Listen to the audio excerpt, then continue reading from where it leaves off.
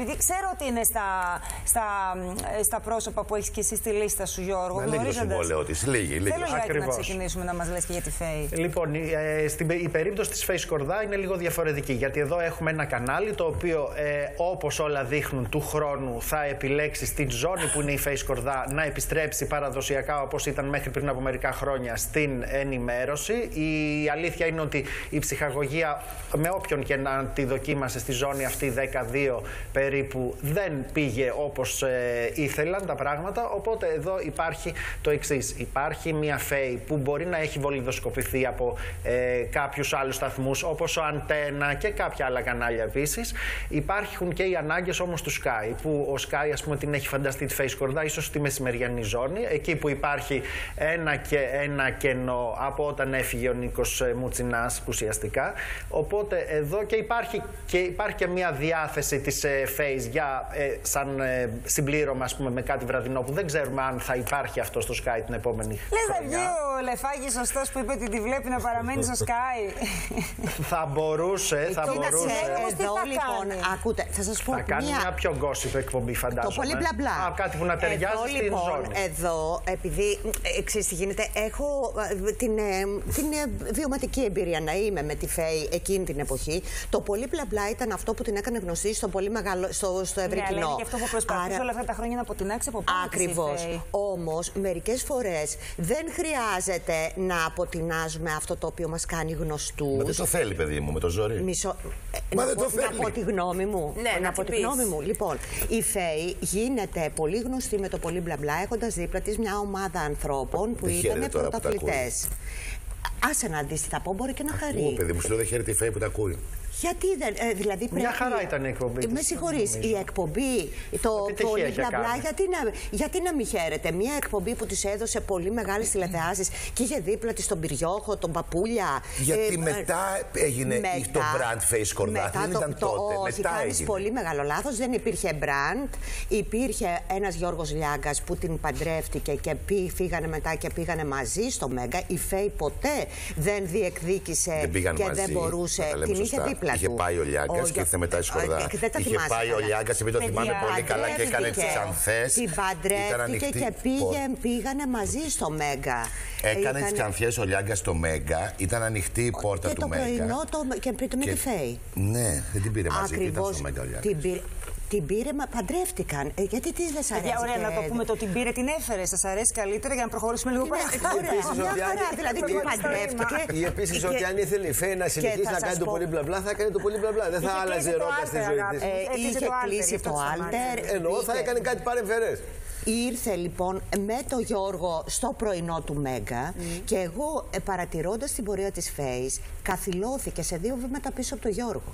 Δηλαδή ε, αυτό το οποίο κάνει πολύ καλά είναι το εμπορικό πλασάρισμα αλλά ούτε σε συνεντεύξεις εξελίχθηκε όπως θα ήθελα να εξελιχθεί ε, ούτε στον gossip γιατί δεν θέλει να σπάει αυγά η Φέη δεν το κατάφερε. Δεν εξελίχθηκε Άρα, σε λοιπόν, αυτό που πίστευες όχι. εσύ να εξελιχθεί. Ναι, Δηλαδή, επειδή έχω δουλέψει μέσα α, με παρουσιαστές 34 χρόνια και τους έχω δει στην εξέλιξή τους, η ΦΕΗ, πε- ευχαριστώ πάρα πολύ από πάνω, είναι 64 χρόνια που δουλεύω στη τηλεόραση, αυτή είναι η αλήθεια.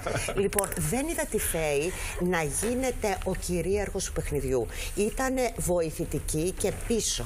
Εκεί λοιπόν δεν διεκδίκησε το κομμάτι της συνέντευξης που άλλοι Το εξελίχθηκαν 2017 πάρα έκανε πολύ. μόνη της την εκπομπή και Ε, ήταν πρώτη και έκανε 30%. θα σου πω ότι η Φέη δεν είναι ένας άνθρωπος που σπάει αυγά. Είναι ένας άνθρωπος που θέλει light τα πράγματα. Μα εσύ θα την κάνεις λιάγκα.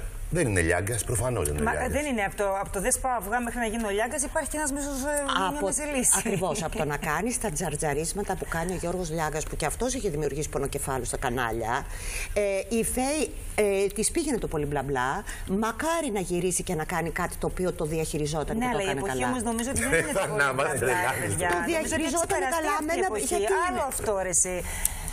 Συγγνώμη, παιδιά, gossip δεν γίνεται. Ξεχνάτε. Ναι. Μιλάμε για πολύ σκληρό Πες γκόσπ. να, ρε, Για πράγματα Μελέτη. τα οποία ήταν Θα μηνύσιμα. τρελαθώ δηλαδή Αυτά η σήμερα. εκπομπή έχει ξεπεραστεί τώρα. Μην μου λέτε εμένα για τον πολύ μπλα μπλα. Είχα βάλει 17 δικηγόρους να το κυνηγάνε για τρία χρόνια. Γιατί τώρα δεν γίνεται gossip; Δεν γίνονται αυτά τα πράγματα που λεγόντουσαν παιδιά την εποχή εκείνη από την τηλεόραση.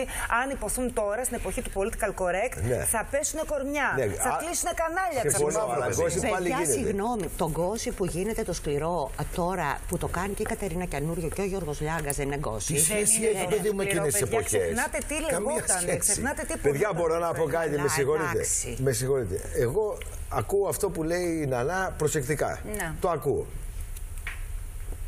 Το ερώτημα του ενός εκατομμυρίου ποιο είναι; Γιατί την σφάζονται στα απαντήσω, εγώ πόδια, πώς θα τα δώσεις. στην ποδιά της Face δύο κανάλια από ό,τι είπε ο Γιώργος; Εγώ τα ακούω αυτό που λέει η Φέη. Τρία κανάλια. Ναι. Το ακούω. Άντε να, υπο- να πω ότι μπορεί να έχει δίκιο σε κάτι, Νανά. Να πω ότι μπορεί να συμφωνώ σε Εσύ κάτι. λες μαζί. λοιπόν γιατί η Φένο κάνει σφάζονται δύο τρία χρονιές που κανάλια δεν στην έχεις ποδιά της. σκίσει, γιατί είναι αυτό προφανώς, γιατί υπάρχει ένδυα στην αγορά και γιατί είναι brand, όσο και λέει η Νανά ότι η Face Κορδά είναι το πολύ μπλα μπλα, εγώ θεωρώ ότι η Face Κορδά. Μην αλλάζεις τα λόγια Μα μου. αυτό έχεις Για, πει ότι είπα, σε μην πήγαινε αλλάζεις αυτό. τα λόγια. Εγώ Απαντήσω σου στο λέω Θανάση. είναι brand. Μην Θέλω το να αλλάζεις. απαντήσω στο Είπα Θανάση. στο Και εγώ εμπορικό. θέλω να Τι μου θέλουν για τα απαντήσεις. εμπορικά. Λοιπόν, θέλω να Ωραία. απαντήσω στο Θανάση. Δεν μπορείς να χρεώσεις μία-δύο χρονιές κακές να παρουσιαστεί με μια μεγάλη πορεία. Σωστό είσαι. Σωστό, βέβαια, δεν Δεύτερον, το και συζητάμε. άλλοι παρουσιαστές που έχουν πίσω τους 25 ετία με κακές χρονιές πάνε σπίτι τους, οι καινούργοι που έχουν μονίμως κακές χρονιές, τι θα πρέπει να κάνουν; Θα μείνει τηλεόραση χωρίς πρόσωπα. Δηλαδή του χρόνου, αν όντως οι παρουσιαστές πάρουν ή δεν πάρουν το πράσινο φως με βάση την τηλεθέαση, δύο παρουσιάστρε θα πρέπει να υπάρχουν, τρεις το πολύ. Παρουσιαστές, παρουσιάστρε μαζί. Οι υπόλοιποι Και βάζεις σπίτια και όλες τους. τις Και ώρες, έχουν για να αλλάξει και τα δεδομένα της τηλεθέασης, παιδιά, τα τελευταία χρόνια. Όταν έχεις 7 κανάλια και άλλο να έχεις 3. Επίσης, το marketing είναι κακό κατ' εμέ για ποιο λόγο; Η ΦΕΗ έκανε μια επιλογή. Πήγε στο Sky. Έκανε μια συγκεκριμένη ώρα. Αποφάσισε το κανάλι που για μένα ήταν λάθος η επιλογή πρέπει να πάει σε Δεν άλλο μπορεί να κανάλι. μην Αλλά είναι τέλος της πάντων. face η επιλογή έτσι. Ναι.